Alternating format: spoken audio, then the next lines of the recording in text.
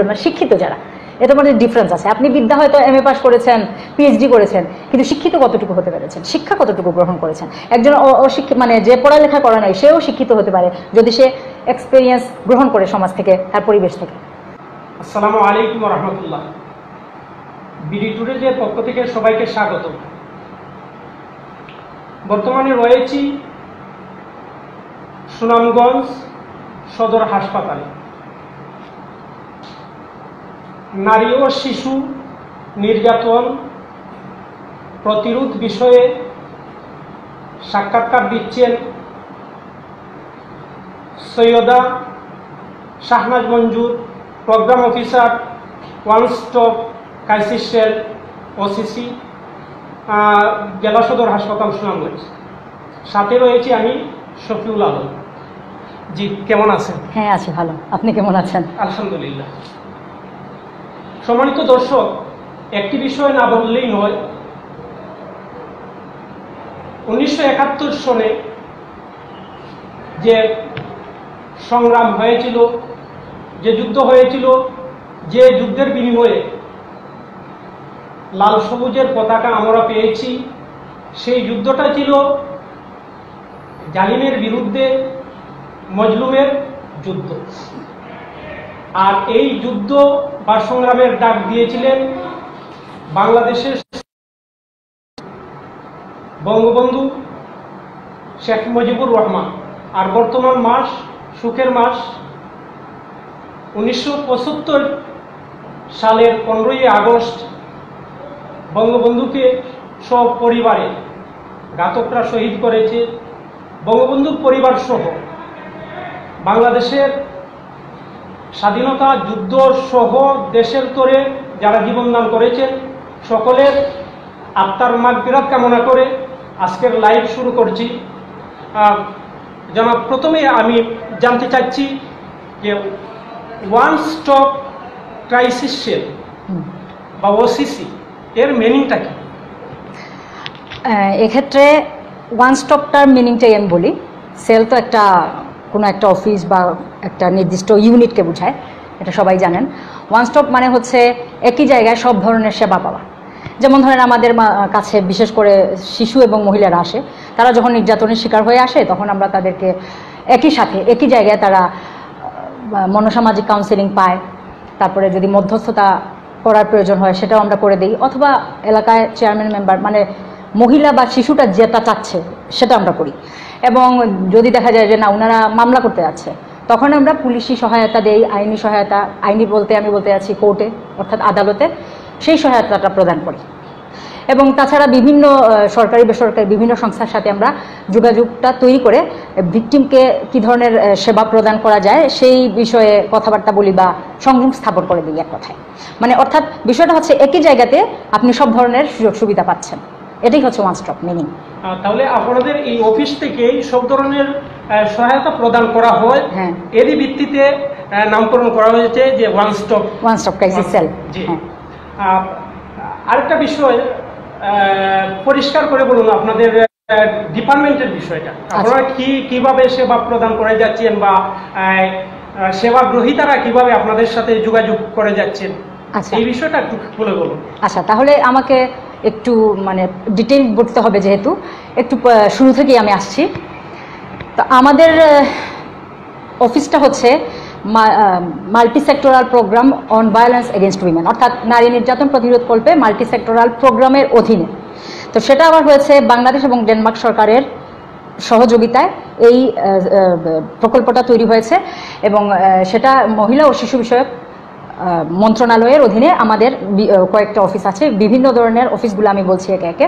তো প্রথমে যেহেতু আমার অফিসটা one stop crisis cell OCC সেটা বিষয়ে আমি বলি। আমাদের আমাদের কার্যক্রমটা হচ্ছে মূলত আমরা, আমাদের উদ্দেশ্য হচ্ছে নির্যাতনের শিকার মহিলা এবং শিশু। এদেরকে আমি একটু আগেই বলেছি ওয়ান স্টপ সো সব ধরনের সহযোগিতা প্রদান করা, যতটুকু আমাদের এখতিয়ারের মধ্যে আছে। তো প্রথমে হয় কি, ধরেন একজন মহিলা আসলো, আমরা তাকে তিনি যেহেতু নির্যাতনের শিকাররাই একমাত্র এখানে আসে, তো আমরা তাকে প্রথমে চেষ্টা করি মধ্যস্থ বা বা সালিশের মাধ্যমে জিনিসটা শেষ করে দেওয়া তো সেক্ষেত্রে আমরা তাকে প্রথমে আমরা চেষ্টা করি আমাদের অফিসের মাধ্যমে সালিশটা শেষ করে দেওয়ার যিনি মহিলা, তিনি যদি মনে করেন যে তিনি আমাদের মাধ্যমে না, কোর্টের মাধ্যমে সালিশ করতে যাচ্ছেন, কারণ কোর্টের সালিশি পরিষদ একটা আছে, আমরা সেখানে পাঠাই দিই। অথবা তিনি যদি মনে করেন যে না, উনার এলাকায় চেয়ারম্যান বা মেম্বার যে কারও মাধ্যমে সালিশ করতে চান বা পঞ্চায়েত যে কোনো মাধ্যমে, তখন আমরা সেই সহযোগিতাটা প্রদান করি ওনাদেরকে আরেকটা বিষয় হচ্ছে, এখন ধরেন সালিশ হলো বা সালিশ এর আগেও হয়তো ওনারা পারিবারিকভাবে বা যে কোনোভাবে করেছেন ওনারা এখন সালিশ করতে যাচ্ছেন না। তখন আমরা তাদেরকে যদি তিনি মামলা করতে চান সব কিছু কিন্তু উনার ইচ্ছার উপর ডিপেন্ড করে। যদি তিনি মামলা করতে চান, তাহলে আমরা তাকে মামলার জন্য সহায়তা প্রদান করি, অর্থাৎ যোগ সূত্রটাই তৈরি করি। সরাসরি আমাদের এখান থেকে মামলা হয় না। আমরা যে থানা, সংশ্লিষ্ট ভিকটিম যে থানার অধীনস্থ বা যে থানায় অপরাধটা ঘটেছে, সেই থানায় আমরা পাঠিয়ে দেই এবং ওসি সাহেবকে ফোন করে বা থানায় যদি এসআই সাহেব থাকেন, যিনি থাকেন, তাকে ফোন করে আমরা সহযোগিতা প্রদানের জন্য বলি। আরেকটা ওনারা যদি কোর্টে যান, তো কোর্টে আছে সরকারের খরচে, অর্থাৎ ভিকটিমের কোনো খরচ লাগবে না। সরকারের ফান্ডে আইনগত সহায়তা প্রদান করা হয়। সেক্ষেত্রে আমরা তাদেরকে লিগেল এইড অফিস আছে, ওখানে পাঠিয়ে দিই। এবং প্রথমেই আসলে যেটা করি, প্রথমেই ভিকটিমে আসলে তাকে আমরা কাউন্সিলিং করি, অর্থাৎ মনোসামাজিক কাউন্সিলিং কাউন্সিলিংটা কী পরে আমি আপনাকে বলছি। এরপরে হচ্ছে কাউন্সিলিং হলো, এরপরে ধরেন উনি মার খেয়ে আসছেন। তখন তাকে আমরা সহায়তা প্রদান করি চিকিৎসা, সেটা আমরা সরাসরি না, ওই যে ওয়ার্ডে বা সংশ্লিষ্ট ডাক্তার যিনি, তার কাছে পাঠিয়ে দিই এবং সেখানে চিকিৎসা নেওয়ার পর উনারে, উনাকে বাদ বাকি যে সহযোগিতা প্রদান করতে হয় সেগুলো আমরা করি। আচ্ছা তো আমাদের অফিসের কাজটা মোটামুটি আমি সংক্ষেপে যতটুকু বলা যায় বলেছি। এখন আসেন, আমাদের ওয়ান স্টপ ক্রাইসিস সেন্টার একটা আছে। সেন্টার হচ্ছে ওসিসি বলে ওইটাকে। এখানে ওসিসি সেল আর ওসিসি সেন্টার দুইটাই। এই দুইটাতে মানুষ মানে ভুল লাগায় ফেলে। যে কোনটা কি? তো এই জন্য আমি ভেঙে বলছি। সেন্টার হচ্ছে আমাদের বাংলাদেশে এগারোটা সেন্টার আছে। সেগুলা এগারোটা মেডিকেল কলেজ হাসপাতালে স্থাপিত করা হয়েছে। তো সেন্টারগুলোতে আরও সুবিধা আছে আমাদের চেয়ে, কারণ হচ্ছে সেখানে সরাসরি ডাক্তার সাহেব আছেন। ওখানে প্রধান হচ্ছেন কোঅর্ডিনেটর যিনি একজন ডক্টর সিনিয়র ডক্টর যিনি। এই কয়েকজন ডক্টরের মধ্যে যিনি সিনিয়র তিনি। তারপরে ওখানে নার্স আছেন, পুলিশ আছেন, দুজন এসআই আছেন, দুজন কনস্টেবল আছেন। পরিচ্ছন্নতা কর্মী আছেন, তো আইন আইনি কর্মকর্তা আছেন। তো এজন্য ভিকটিম যখন ওখানে যান, উনি ওই জায়গাতেই সব সহায়তা পেয়ে যাচ্ছেন। ওনাকে থানায় বা কোর্টে যেতে হচ্ছে না। এই একটা সুবিধা। আর হচ্ছে, এখানে উনি একজন ভিকটিম সাধারণত মানসিক সরি মানসিক না, শারীরিক, যৌন নির্যাতন এবং দগ্ধ নির্যাতন। এই তিন ধরনের নির্যাতনের সেবা দেওয়া হয়। যেক্ষেত্রে আমাদের এখানে অন্যান্য সেবা, এগুলোর সাথে ধরেন একজন মানসিক নির্যাতনের শিকার হচ্ছে, সেই সেবাটাও আমরা প্রদান করি। আচ্ছা মানে আমাদের সেল, সেলের কথা বলছি। তো সেন্টার হচ্ছে এই সহায়তাগুলো প্রদান করে, আর আপনি একটা সেন্টারে পাঁচ সাতজন পাঁচ সাত দিন সর্বোচ্চ থাকতে পারবেন, এবং এখানে আট থেকে দশটা বেড আছে। বিশেষ করে যখন ধরেন অনেক মহিলা যাওয়ার জায়গা থাকে না, এখন যাবে কোথায়? মার খেয়ে আসছে বা ধর্ষণের শিকার হয়েছে। তখন তাকে ওই এই বেডগুলোতে স্থাপন মানে রাখা হয় এবং সেখান থেকে সেবা প্রদান করা হয়। আর একটা বিষয় আমি ছেড়ে চলে গিয়েছিলাম যে আমাদের সেল, সেলগুলো স্থাপিত হয়েছে বাংলাদেশে টোটাল সাতচল্লিশটা জেলা সদর হাসপাতালে আর বিশটা উপজেলা স্বাস্থ্য কমপ্লেক্সে। অর্থাৎ টোটাল সাতষট্টিটা ওয়ান স্টপ ক্রাইসিস সেল আছে। আচ্ছা সেন্টারের পরে আছে আমাদের ডিএনএ মানে national forensic DNA profiling laboratory ওটা হচ্ছে ঢাকা মেডিকেল কলেজ হাসপাতাল ক্যাম্পাসে বিভাগীয় ডিএনএ স্ক্রিনিং ল্যাব এখন ডিএনএ কী জন্য স্ক্রিনিং ল্যাবরেটরিটা কী জন্য হয়? ধরেন, একটা মেয়ে ধর্ষণের শিকার হলো, এখন কে করেছে সেই পরিচয়টা বের করার জন্য? বা একটা পুরুষ দেখা যায় সাধারণত তার অনেক ক্ষেত্রে সন্তানকে স্বীকার করতে চায় না। তো সেক্ষেত্রে আমরা পিতৃত্ব বা মাতৃত্ব নির্ধারণ করার জন্য ডিএনএ টেস্ট করা হয়। এবং অনেক ক্ষেত্রে হত্যা, কে কাকে একজন মানুষ মারা গেছে, এখন কে মারা গেছে, সেটা ধরেন লাশ পচে গেছে, এখন আমরা কীভাবে জানব? তখন ওই ডিএনএ টেস্ট করে আমরা সেটা বের করতে পারি। তো এই জন্য বিভাগীয় ক্ষেত্রে যেমন সিলেটে আছে, আমি যেহেতু সুনামগঞ্জে, সিলেটে আমাদের বিভাগীয় স্ক্রিনিং ল্যাবরেটরি আছে, তো ওখানে কোনো মহিলা, বিশেষ করে যদি ধর্ষণের শিকার হয়, আমরা তার ওই কাপড় চোপড় বা যেগুলো প্রয়োজনীয় এভিডেন্স থাকে, ওগুলো পাঠিয়ে দিই। সেখান থেকে ঢাকায় পাঠানো হয় এবং সেখানে বিনামূল্যে ভিকটিমের জন্য বিনামূল্যে সব এই টেস্টগুলো হ্যাঁ হ্যাঁ করা হয়। আচ্ছা আর হচ্ছে আমাদের ট্রমা কাউন্সিলিং সেন্টার ওই যে মনোসামাজিক কাউন্সিলিং বলেছিলাম। ট্রমা কাউন্সিলিং সেন্টারের মূলত ক্লিনিক্যাল সাইকোলজিস্টরা ইয়ে করে মনো- মনোসামাজিক কাউন্সিলিং করে থাকেন। সেটা হচ্ছে আমাদের স্থাপন করা হয়েছে ঢাকা মেডিকেল কলেজে। সরি আমাদের আমাদের অফিস মাল্টিসেক্টর প্রোগ্রামের অফিস তো সেখানে চারতলায় ন্যাশনাল ট্রমা কাউন্সিলিং সেন্টার আছে। আর অন্যান্য রিজিওনাল পর্যায়ে নয়টা বিভাগ নয়টা ট্রমা কাউন্সিলিং সেন্টার আছে। তো সেখানে একইভাবে মনসামাজিক কাউন্সিলিংটা হয় যখন একজন ভিকটিম আসলো, তখন সে মার খেয়ে আসুক আর যেভাবেই আসুক, সে কিন্তু মানসিকভাবে খুব বিপর্যস্ত থাকে। তখন তাকে প্রাথমিক পর্যায়ে আমরা কাউন্সিলিং যেটাকে বলে, বাংলায় যদি বলি পরামর্শ পরামর্শ প্রদান করা হয়, সে যেন এই মানসিক কষ্ট থেকে উত্তরিত হতে পারে। সে যেন একটা স্বাভাবিক জীবনে ফিরে আসতে পারে। এই বিষয়গুলো আমরা দেখি। আর হচ্ছে, আর আমরা যেহেতু ক্লিনিক্যাল সাইকোলজিস্ট না, যারা আমরা সেলে আছি বা সেন্টারে আছি, কিন্তু তাদেরকে ট্রেনিং দেওয়া হয়েছে কাউন্সিলিংয়ের ব্যাপারে। আর হচ্ছে আমাদের ওয়ান জিরো নাইন অর্থাৎ একশো নয় একটা হেল্পলাইন নাম্বার আছে, যেখানে ধরেন এই মুহূর্তে আপনি আমার সাপোজ অফিসে আসতে পারবেন না বা রাত্রে আপনি অফিস খোলা তো থাকবে না সাধারণত তখন আপনি কি করবেন? এই মুহূর্তে আপনার সামনে একটা নির্যাতনের শিকার ঘটলো। অথবা ভিকটিম নিজেও যদি মনে করে যে আমি এখন কার কাছে যাব? ওয়ান জিরো নাইন এসে ফোন দিতে পারে। সেটা সে টিএনটি থেকে দিতে পারে সেটা সে মোবাইল থেকে দিতে পারে যে কোনো মানে মাধ্যমে দিতে পারে এবং এক্ষেত্রে তার এক টাকাও খরচ হবে না। অর্থাৎ একেবারে একেবারে টোল হ্যাঁ টোল ফ্রি করে রাখা হয়েছে। তো সেক্ষেত্রে সে জানাতে পারে ওখানে ওখানে চব্বিশ ঘণ্টা এই অফিসটা কিন্তু খোলা থাকে। তো এখানে সে জানাতে পারে যে আমি এই সমস্যার সমাধান কি। তখন ওনারা পরামর্শ দিবে। অথবা স্থানীয় পর্যায়ে যে জায়গায় ঘটনাটা ঘটেছে, সেই জায়গায় প্রশাসন বা আমাদেরকে যে মানে যেখানে যে পদক্ষেপটা নেওয়া প্রয়োজন, সেই পদক্ষেপটা ওনারা এই পরামর্শটা দেয় বা পদক্ষেপ নেওয়ার চেষ্টা করে। বাল্যবিবাহ নিরোধে ওয়ান জিরো নাইন সহায়তা প্রদান করে। আরেকটা হচ্ছে জয় অ্যাপস তো জয় অ্যাপস এটা খুব রিসেন্টলি বলা যায়। তো জয় অ্যাপস আপনি যার স্মার্টফোন আছে, তিনি সেটা ব্যবহার করতে পারবেন। তিনি হচ্ছেন গুগল প্লেতে গিয়ে জয় অ্যাপস একটা নামে অ্যাপস আছে, সেটা স্টোর করে উনি সেটা রাখতে পারবেন।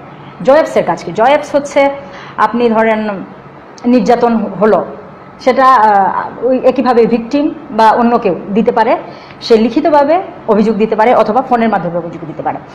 তো যখন একটা আপনি ফোন করছেন বা যোগাযোগ করছেন জয় অ্যাপসের মাধ্যমে, আপনার তিনটা এফএনএফ নাম্বার তারপরে যে থানায় বা যদি মেট্রোপলিটন সিটি হয়, সে, অর্থাৎ যে জায়গায় অপরাধটা ঘটেছে, সেই জায়গার ওসি সাহেব সেই জেলা হলে এসপি সাহেব এবং যদি মেট্রোপলিটন হয়, তাহলে উপ পুলিশ কমিশনারের কাছে এস এম এস চলে যাবে। বার্তাটা অর্থাৎ চলে যাবে এবং ওই যে তিনটি এফএনএফ বললাম এবং আমাদের ওয়ান জিরো নাইন এই সবগুলো জায়গাতে চলে যাবে। তখন এই এবং ক্ষণে ক্ষণে, কিছুক্ষণ পর পর একটি ছবি উঠবে এবং ভয়েস রেকর্ড হবে সব কিছু সার্ভারে রেকর্ড হবে এবং এগুলোর ক্ষেত্রে গোপনীয়তা রক্ষা করা হবে। এই বিষয়গুলো শুধু জয় অ্যাপস সেন্টার দেখতে পারবে অন্য কেউ দেখতে পারবে না। এবং তো, সেই ক্ষেত্রে অবস্থা বুঝে যে ধরনের সহায়তা প্রয়োজন, সেই ধরনের সহায়তা প্রদান করা হয়। এই এই ধরনের আর কি মানে আমরা নারী এবং শিশুর জন্য যে ধরনের যতটুকু সম্ভব মাল্টি সেক্টরাল প্রোগ্রাম এই কাজগুলো করে যাচ্ছে। তো আমরা হচ্ছি মাল্টি সেক্টরাল প্রোগ্রামের একটা ইউনিট ওয়ান জিরো আমাদের ওয়ান স্টপ ক্রাইসিস সেল এরকম আপনাকে কয়েকটা আমি কম্পোনেন্টের কথা বলি আপনার টেবিলে দেখা যাচ্ছে কিছু হ্যাঁ। লিফলেট হ্যাঁ। রাখা রয়েছে। জি। তো এগুলো একটু দেখতে পাই হ্যাঁ হ্যাঁ অবশ্যই অবশ্যই কেন নয় এই যে আমাদের সব কিছু কম্পোনেন্ট বিষয়ে। এখানে বিস্তারিত আছে প্রত্যেকটাতে। নারী নির্যাতন প্রতিরোধ কল্পে multi sectoral programme multi sectoral programme হ্যাঁ। আসলে একজন কবি তিনি কবিতার ভাষায় বলেছিলেন কোনো কালে একা জয়ী হয়নি কো পুরুষের তরবারি। শক্তি দিয়েছে প্রেরণা দিয়েছে সাহস দিয়েছে বিজয় লক্ষ্মী নারী। আসলে আমরা সামাজিক ক্ষেত্রে কোনো ক্ষেত্রেই তো নারীদেরকে মাইনাস করতে পারি না। হ্যাঁ। নারীদের কোনো ক্ষেত্রেই তাদেরকে অসম্মান করাটা কখনো যুক্তিসঙ্গত হতেই পারে না। নারীদের যথাযথ সম্মান প্রদর্শন করা অবশ্যই পুরুষদের কর্তব্য। হ্যাঁ। কারণ নারী আমাদের মা নারী আমাদের বোন নারী আমাদের অর্ধাঙ্গিনী। সর্বক্ষেত্রেই নারীদের সুখে দুঃখে আমাদের পাশে পায়। আর দুজন ছাড়া তো আপনি সমাজ চলা চলতেও পারবে না। একজন ছাড়া একজন হবে না। আহ, আপনাদের লিফলেটের প্রত্যেকটা লিফলেটে একটা বিষয় দেখা যাচ্ছে যে শেখ হাসিনার বার্তা নারী পুরুষ সমত হ্যাঁ। এই বিষয়টা একটু খোলাসা বা বিস্তারিত বলুন। এই হ্যাঁ, আচ্ছা আমাদের বর্তমান প্রধানমন্ত্রী শেখ হাসিনা জননেত্রী শেখ হাসিনা তিনি আসলে যেহেতু নিজেও একজন নারী আর শুধু নারী বলে নয় ওনার মধ্যে আমি অনেক আমি তো দেখছি উনি অনেক বছর ধরে ক্ষমতায় আছেন। নারীদের জন্য উনি মূলত কাজগুলো এমনিতে তো দেশের জন্য করছেন, কিন্তু নারীদের জন্য আমাদের এই সরকার বিভিন্ন ধরনের কাজ করে যাচ্ছে বিভিন্ন বিষয়ে। এবং এগুলো বর্ণনা করা আসলে অনেক কঠিন, অনেক সময়ের ব্যাপার। তো এই জন্য আমি এত কিছু বর্ণনা করছি না। তো তিনি, যেহেতু আমি এই বিষয়ে কাজ করি, এই জন্য আমি নারী পুরুষ সমতা নিয়েই কথা বলব। তা আমাদের প্রধানমন্ত্রী নারীর ক্ষমতায়ন বা নারীর উন্নয়নের জন্য এখন ডিগ্রি পর্যন্ত পড়ালেখা একেবারে ফ্রি করে দিয়েছেন। তারপরে দেখা গেছে অনেক ক্ষেত্রে মেয়েদেরকে উপবৃত্তি দেওয়া হয়। সেই উপবৃত্তিটা কার কাছে যাবে? যায় হচ্ছে মার কাছে মেয়ের মায়ের কাছে বাবার কাছে নাই কিন্তু। মায়ের কাছে এবং প্রত্যেকটা মাকে সম্ভবত আমি সংখ্যাটা বলতে পারছি না লক্ষ লক্ষের অধিক। আচ্ছা এটা যেহেতু বলতে মানে আমি সঠিক ভুলে গেছি জানতাম ভুলে গেছি যাই হোক ওটা আমি বলছি হ্যাঁ সংখ্যার প্রয়োজন নেই। তো এইসব মায়েদের কাছে মোবাইল দেওয়া হয়েছে এবং ওনারা মোবাইলের মাধ্যমে মেয়ের উপবৃত্তির টাকাটা পাচ্ছেন। এবং এই যে নারী নির্যাতন, যেমন আরেকটা আমি উদাহরণ দিই, একবার আইনের একটা বিষয়। আগে ছিল আন্ডার এজ অর্থাৎ আঠারো বছরের নিচে যদিও আইনে মানে ষোলো ষোলো বছরের নিচে নিচে কোনো মেয়ের সাথে যদি ইচ্ছাকৃতভাবে, অর্থাৎ মেয়ের ইচ্ছায় অথবা অনিচ্ছায় যদি কেউ শারীরিক সম্পর্ক তৈরি করে, সেক্ষেত্রে তার শাস্তি ছিল, জেল ছিল মানে এই ধরনের একটা নির্দিষ্ট লেভেলের শাস্তি ব্যবস্থা ছিল। কিন্তু বর্তমানে যে জিনিসটা হচ্ছে এখন তাকে মৃত্যুদণ্ড দেওয়া হয়েছে, এই আইনে এটা চলে এসছে। এই জন্য এটা কোনোভাবেই আপোষযোগ্য না তার মানে কি? এটা হচ্ছে এই মেয়েদের সুবিধার জন্য, মেয়েদেরা যাতে নির্যাতিত না হয়, এজন্যই তো এই আইনটা এসেছে।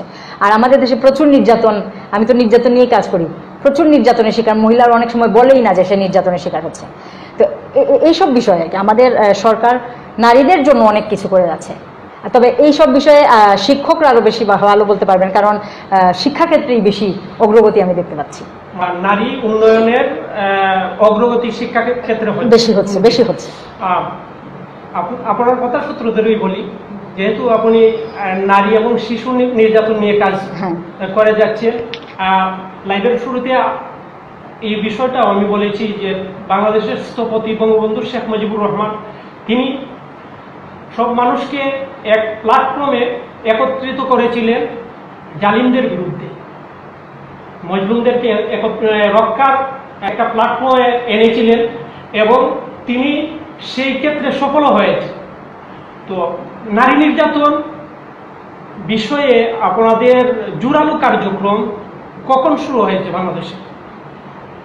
আমাদের মাল্টি সেক্টর প্রোগ্রামটা শুরু হয়েছিল দুই হাজার সালে। প্রথমে পাইলট পর্ব শুরু হয়েছে।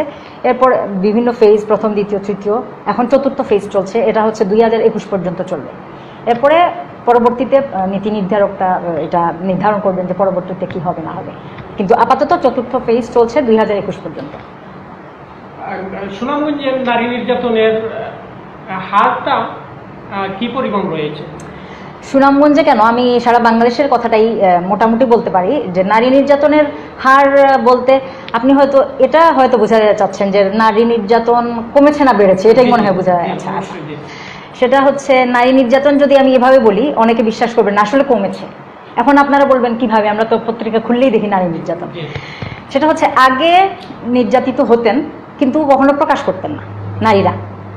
কারণ তখন একটা লজ্জার বিষয় ছিল মূল্যবোধের বিষয় কারণ সমাজ তো চেঞ্জ হয় মূল্যবোধেরও চেঞ্জ হয়। তো তখন মূল্যবোধ ছিল এরকম যে ঘরের বাইরে নারীদেরকে যাওয়াই তো অনেক যেমন আমা- আমরা যদি বেগম রোকেয়ার কথা বলি তিনিই তো প্রথম মহিলা এই উপমহাদেশে যিনি ঘরের বাইরে বের হয়ে পড়াশোনা করেছেন। হ্যাঁ তো তখন তখন বা এরপরে অনেক সময় অনেক বছর ধরে এই মূল্যবোধটাই ছিল যে নারীরা ঘরের বাইরে বের হতে পারবে না। এজন্য নারীরা যে নির্যাতনের শিকার হচ্ছে সেটা আমরা জানতামই না। হয়তো জানতো তার পরিবারের ভেতরের গণ্ডির ভেতরের মানুষগুলো। বাইরের কেউ জানতে পারতো না। কিন্তু বর্তমানে ওই যে শিক্ষার অগ্রগতি সচেতনতা ইত্যাদি ইত্যাদি বিষয়ে নারীরা যেহেতু ঘরের বাইরে বের হচ্ছে ভয়েস রেজ করতে পারছে, কথা বলতে পারছে, এজন্য সে বলতে পারছে যে আমি নির্যাতনের শিকার হচ্ছি। আমি একটা উদাহরণ দিই। গতকাল একটা মেয়ে এসেছিল, তার বয়স ষোলো। তো তাকে একটা ছেলে, তার সাথে আগে সম্পর্ক ছিল, সেটা ভিন্ন কথা। বর্তমানে প্রেমের সম্পর্ক ছিল, এখন নাই। তো সেই ছেলেটা জোর করে ধরে নিয়ে গেছে, গিয়ে সুনামগঞ্জ থেকে নিয়ে গাজীপুরে নিয়ে রেখেছে, তারপরে তাকে এক সপ্তাহ রেখেছে, ওখানে ধর্ষণ করছে। এখন মেয়েটা মানে সে কিন্তু খুব একটা শিক্ষিত না গরিব, দরিদ্র ফ্যামিলির মেয়ে। পড়াশোনা কর- করছে আর কি এইটে পড়ে না সেভেনে পড়ে এরকম। এখনও ওই- আর ওই লেভেলে তো আসলে সচেতনতা কম। হয়তো তারা পড়াশোনা করছে সচেতনতাটা কম। তো কিন্তু এটা দেখলাম অনেক সাহসী। সে আসছে মেয়ের মা বাবাকে নিয়ে এসছে। সে তো এই জিনিসটা করতে পারতো যে লজ্জায় নাও বলতে পারতো আমাকে। বা চেষ্টা করতে পারতো ওই ছেলের সাথে বিয়ে। এটাই তো হয় আমাদের সমাজে যে পরে ছেলের সাথে বিয়ে দেওয়া হয়। এটা তো এক ধরনের নির্যাতন মানসিক নির্যাতন। তো যাই হোক মেয়ের মেয়ের মা বাবা কেউ ছেলের সাথে বিয়ে দিবে না। মেয়েও তো বিয়ে করবেই না যদিও আগে সম্পর্ক ছিল ভালোবাসার। তো মেয়ে আমার কাছে বলল এরকম, আমি বললাম, তো এটা তো আপোষযোগ্য না। বুঝাই দিলাম, আইন, আপোষযোগ্য না, তোমরা তো এটা মামলা করতে হবে। কিন্তু তোমরা তো আবার অনেক সময় দেখা যায় নিজে থেকে আপোষ করে ফেলো। তো এটা তো ঠিক না। তো বলে, না, ম্যাডাম, আমি তো কখনোই আপোষ করব না। এটা আমি মামলা করেই ছাড়বো। তারপরে আমরা তাকে চিকিৎসা সেবা প্রদান করি, এরপরে থানায় পাঠিয়ে দিই। আজকে গিয়েছে থানায়। তো আমি সেটাই বলতে আছি যে এখন ভয়েস রেজ করছে। মানে তারা কথা বলা শুরু করেছে, মহিলারা, নারীরা, শিশুরা। এজন্য রিপোর্টিংটা বেশি হচ্ছে। অর্থাৎ আমরা পাচ্ছি যে আপনি নির্যাতনের শিকার হচ্ছেন, আপনি এসে আমাকে বলছেন যে আমি নির্যাতনের শিকার। এজন্য আমি পাচ্ছি, কিন্তু আসলে আগের চেয়ে নির্যাতন কমেছে, কিন্তু আমরা জানতে পারছি বেশি। এজন্য আমরা হয়তো ভাবছি নির্যাতন বেড়েছে। আর তাছাড়া এটা শুধু না, শুধু নারী না না পুরুষরাদেরও কিন্তু দৃষ্টিভঙ্গি চেঞ্জ হয়েছে। ওরা নারীদেরকে সম্মান করা শিখতে পারছে। তারা সম অধিকারে বিশ্বাসী হচ্ছে, অনেক পুরুষ। আমি দেখেছি যে অনেক মেয়েরা হয়তো, আমার একটা বন্ধু আছে, ছেলে বন্ধু, সে তার ওয়াইফ ঘরে থাকতে চায় সে তাই বলে যে না তুমি পড়াশোনা করো। তুমি আমার মতো এম এ পাশ করো। তুমি এত কম পড়াশোনা করলে হবে না। তুমি আগায় যেতে হবে। কিন্তু সে হয়তো আগায় যেতে যাচ্ছে না। তার মানে পুরুষরাও আমি দেখেছি সচেতন। এজন্য আসলে সচেতনতা বৃদ্ধি হয়েছে বলে নারী নির্যাতনটা কমেছে। আপনার কথা সূত্র ধরেই বোঝা যাচ্ছে যে পুরুষরাও চাচ্ছে এখন যে নারীরা উন্নয়নের অগ্রগতিতে অগ্রসর হ্যাঁ। মানে যারা সচেতন পুরুষ সব পুরুষ না। জি। হ্যাঁ সচেতন বা যারা যুক্তি বুঝে যে আরেকজনকে ছাড়া একজনকে ছাড়া আরেকজন চলতে পারবে না। নারীকে ছাড়া তো আপনি চলতে পারবেন আপনার তো জন্মই হতো না যদি আপনার মা না থাকতো। হ্যাঁ শিক্ষিত যারা এটার মধ্যে ডিফারেন্স আছে। আপনি বিদ্যা হয়তো এম এ পাস করেছেন পিএইচডি করেছেন কিন্তু শিক্ষিত কতটুকু হতে পেরেছেন? শিক্ষা কতটুকু গ্রহণ করেছেন? একজন অশিক্ষিত মানে যে পড়ালেখা করে নাই সেও শিক্ষিত হতে পারে যদি সে এক্সপিরিয়েন্স গ্রহণ করে সমাজ থেকে তার পরিবেশ থেকে। তো শিক্ষিত ছেলেরা আমরা আসলে একটু ভুল আমি মনে করি এই টার্মটা একটু ভুল করি। যে শিক্ষিত আর বিদ্যান এই দুটোর মধ্যে একটু ডিফারেন্স আছে। শিক্ষা গ্রহণ করা সহজ না বিদ্যা গ্রহণ করা সহজ। মানে নিরক্ষর অনেক মানুষ আছে যে শিক্ষিত মানে সে মূর্খ না জ্ঞানী আর কি। সেটাই এক কথায় বলতে গেলে সহজভাবে জ্ঞানী। মানে নিরক্ষর হওয়া সত্ত্বেও তার অভিজ্ঞতা আছে বা তার একটা জ্ঞান আছে। জ্ঞান আছে। হ্যাঁ। হ্যাঁ তো আপনাদের ডিপার্টমেন্টের প্রচারণা বা অবস্থান। জাতির কাছে কীভাবে আপনারা তুলে ধরছেন? এর মাধ্যমে। না এফসের মাধ্যমে না। আমরা বিভিন্ন সময় তো বিভিন্ন সভা সেমিনার হয় বা আমরা যেমন ধরেন জাতির হ্যাঁ যদি মেলা হয় তখন আমরা সাধারণত লিফলেট দিই বা হ্যাঁ। তারপরে ধরেন আমরা তো আইন শৃঙ্খলা মিটিংয়ে আছি তারপরে নারী ও শিশু নির্যাতন দমন প্রতিরোধ কমিটিতে আছি জেলা পর্যায়ে। তো এগুলাতে তো আমরা যাই। ইনভাইটেড হই। তো ওখানে তো বিভিন্ন সুশীল সমাজের লোকজন আসেন, বিভিন্ন চাকরিজীবী লোকজন আসেন, তো সেখানে তো বিষয়টা যাচ্ছে। আরেকটা বিষয় হচ্ছে আমরা এটা আসলে সেল টু সেল মানে আমাদের বিভিন্ন অফিস টু অফিস বেরি করে। যেমন আমাকে অনেক ইনভাইট করা হয় বিভিন্ন উঠান বৈঠকে বা বিভিন্ন মিটিংয়ে আমি যেহেতু সুশীল সমাজের মিটিংয়ের কথা বলব না ওনারা তো এমনিতেই সচেতন ওনাদেরকে বলার কিছু নাই। উঠান বৈঠকে বেশি আমার সুদূর প্রসারী মানে ইয়েটা হয়। আহ, সুদূর প্রসারী আহ, মানে প্রভাবটা পড়ে প্রভাবটা পড়ে হ্যাঁ। যে আমি সরাসরি নারীদের সাথে শিশুদের সাথে কথা বলতে পারছি তাদেরকে জানাতে পারছি তারা তারা আমাকে বিভিন্ন প্রশ্ন করছে। তো এভাবে আমরা প্রচারটা করছি এবং প্রচারের চেষ্টা করছি। আপনাদের সেবাটাও যাতে তারা সহজে নিতে পারে এই বিষয়টা হ্যাঁ। আপনারা তুলে বলে আসি হ্যাঁ। তারপরে ওয়ান জিরো নাইনের কথা ওরা তো জানে না। জি। এগুলো বলে আসি। তারপরে ওই যে অনেকে জানেই না যে আইনি সহায়তা আছে সরকারি খরচে ওটা ওগুলো বলে আসি আমরা। আপনার এই কথাটা একেবারে ধ্রুব সত্য যে এই আইন শৃঙ্খলা মিটিং বা অফিসিয়াল সিস্টেমে যে প্রচারণটা হয় এটা একটা গণ্ডির ভিতরে থাকে। কিন্তু উঠান বৈঠকের যে বিষয়টা এটা একটা ব্যাপক। অবশ্যই আপনাদের এই এই যে একটা উঠান বৈঠকের একটা সিস্টেম এটা অবশ্যই প্রশংসার দাবি রাখে। এখন যে বিষয়টা জানতে চাচ্ছি এই বিষয়টা হচ্ছে যে জেন্ডার। এটার মিনিং কি এবং এটার তাৎপর্য কি? আচ্ছা জেন্ডার বেসড ভায়োলেন্স হচ্ছে যদি আমি সহজ কথায় বলি বাংলা ভাষায় তাহলে হচ্ছে জেন্ডার মানে লিঙ্গভিত্তিক। ভায়োলেন্স মানে নির্যাতন। লিঙ্গভিত্তিক বলতে এখানে শিশু এবং নারীকেই মূলত বোঝানো হয়েছে। তো আমাদের দেশে নির্যাতনটা কেন হচ্ছে? এটা আপনি বলতে পারেন। আমাদের দেশে মূলত নির্যাতনটা হয়।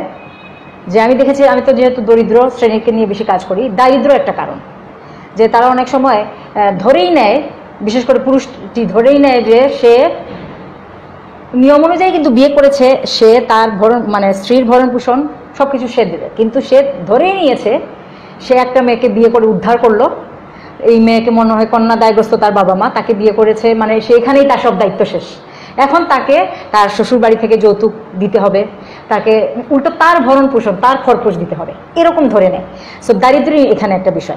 এজন্য নারী নির্যাতনটা হচ্ছে। তারপরে ধরেন তারা মনে করে যে নারী ওই যে আমাদের বিষয় সমাজে যেটা হয় যে, নারীদেরকে সম্মান করা হয় না। তো এই জন্য মনে করে সে আবার কি, একটা মানে একটা নারী একটা জড় পদার্থ এর কিছু না, একে এনেছি কাজ করার জন্য, আমাকে খাওয়াবে, পড়াবে, শেষ। এর বেশি কিছু না। ভোগ্যপণ্য হিসেবে দেখে। তো এই ক্ষেত্রে যেহেতু ভোগ্যপণ্য হিসেবে যদি দেখে তাহলে তো তাকে মানুষ হিসেবে মনে করে না। তাহলে হ্যাঁ। তাহলে তো তাকে ভায়োলেন্স ঘটাবে এই জন্য ভায়োলেন্সটা ঘটে। আর হচ্ছে অনেক ক্ষেত্রে হয় কি একটা পুরুষ যদি দেখে তার পিতামাতা অর্থাৎ তার পিতা যদি তার মাতাকে সবসময় মারধর করে সে এটা দেখেই বড় হবে। যে সে মনে করবে এটাই স্বাভাবিক। এটা যে অস্বাভাবিক এটা যে মানবাধিকার লঙ্ঘন এটা সে বোঝেই না জানেই না। সো এটা দেখেও সে ভায়োলেন্স বা নির্যাতন যাকে বলে সেটা শিখে। আরেকটা বিষয় হচ্ছে সে নিজের প্রতি আত্মসম্মান বোধের অভাব। এটা অবশ্য নিম্ন পর্যায়ে আমি বলব না, সেটা মধ্যবিত্ত বা মধ্যবিত্ত পর্যায়ে বলতে পারি। সে, ধরেন, একটা মেয়ে যদি সাপোজ মাস্টার্স আর একটা ছেলে ইন্টার পাস তার যদি স্বামী স্ত্রী হয়, বা প্রেমিক প্রেমিকাও যদি হয়, ছেলেটা ভাবে যে, এই মেয়েটা আমার চেয়ে বেশি স্বাভাবিকভাবে যোগ্য, সে আমাকে যে কোনো সময় ছেড়ে চলে যেতে পারে। তখন সে ভায়োলেন্সটা ঘটায়, যাতে সে মেয়েটা তাকে ছেড়ে না যায়। এখানেও কিন্তু মানে পুরো উল্টো একটা বিষয় ঘটতেছে। কিন্তু আবার উল্টা দিকে আমি নিম্ন পর্যায়ে মানে লোয়ার ক্লাসে যদি যাই তখন তারা শিক্ষার অভাব বলে ভায়োলেন্সটা ঘটাচ্ছে। মানে আসলে ক্ষেত্র টু ক্ষেত্র ভেরি করে বুঝছেন? এক একটা পর্যায়ে এক এক ধরনের ভায়োলেন্স এবং এক এক ধরনের কারণ। আর তারপরে তাছাড়া পুরুষতান্ত্রিক সমাজে ভায়োলেন্সটাকেই পৌরসত্ব ধরা হয় এটা একটা বিষয়। এবং আধিপত্য বিস্তার করতে চায় পুরুষরা এটাও একটা বিষয়। এরকম অনেক আমি বিশ্লেষণ করলে অনেক বিষয় বের হয়ে। তো আমি কি পয়েন্টগুলো বললাম? যে কোন কোন কারণে আমাদের দেশে ভায়োলেন্সটা ঘটে? অনেক সময় পত্র পত্রিকায় শিরোনাম হয় যে পুরুষতান্ত্রিক সমাজ। আসলে কি বিষয়টা এখনও এই রূপেই রয়ে রয়েছে হ্যাঁ হ্যাঁ হ্যাঁ এই রূপে বিষয় এখনও কি? মানে অবশ্যই। এখনও পুরুষতান্ত্রিক সমাজ? হ্যাঁ পুরুষতান্ত্রিক সমাজ। কীভাবে বলি যে যখন আদিম সমাজ ছিল একেবারে শুরুর দিকে তখন আদিম সমাজে পুরুষ আর মহিলা একসাথে কিন্তু বাইরে ঘুরে ফিরে বেড়াতো, যেহেতু তাদের খাবার সংগ্রহের একটা বিষয় ছিল। তাছাড়া তারা যেহেতু নিজেরই বাঁচা, প্রকৃতির সাথে যুদ্ধ করা, পশু পাখির সাথে যুদ্ধ করা, বনের, সেটাই হচ্ছে মুখ্য। এখানে তোমাকে আমি নির্যাতন তো পরের বিষয়। আগে নিজে বাঁচতে হলে না আরেকজনকে আমি নির্যাতন করব। এই বিষয়টা ছিল। তখন তারা একসাথে ঘুরে ফিরে শিকার করতো, একসাথে মিলেমিশে খাবার খেত। এজন্য তাদের মধ্যে সমতা ভিত্তিক সমাজ ছিল। এখানে কোনো কোনো তান্ত্রিকতা ছিল না। মানে পুরুষতান্ত্রিক হোক, মাতৃতান্ত্রিক মাতৃতান্ত্রিক কিন্তু সমাজ আছে আমাদের দেশে। তো কোনো তান্ত্রিকতা ছিল না। এটা হচ্ছে সমতান্ত্রিক আমি বলে- বলতে পারি আর কি। সমান সমান মতো সমান মতের সমাজ ছিল। তো পরে আস্তে আস্তে ধীরে ধীরে হচ্ছে কি, এই, পুরুষতান্ত্রিকতা বা কীভাবে আসলো? সেটা হচ্ছে যখন দেখা গেল একটা সময় যে মেয়েরা তো গর্ভধারণ করে। তাকে আলটিমেটলি এই কয়েকটা মাস ঘরে থাকতে হচ্ছে। সে বাইরের কাজ করতে পারছে না সহজে। আর পুরুষরা তখন পুরুষের হাতে চলে গেলে একেবারে খাবার সন্ধানের বিষয়টা। সে বাইরে যাচ্ছে, সে শিকার করছে, তার হাতে বর্ষা। যাই হোক সব কিছু তার হাতে। আর নারীরা ঘরে বসে থাকছে, সন্তান লালন কনসেপ্ট থেকে চলে এসছে যে, যেহেতু আপনি দেখবেন, অর্থনীতি, অর্থনৈতিক শক্তি যার হাতে, সেই কিন্তু শক্তিটা প্রয়োগ করে। অর্থনৈতিক শক্তিটা ছেলেদের হাতে চলে গেল।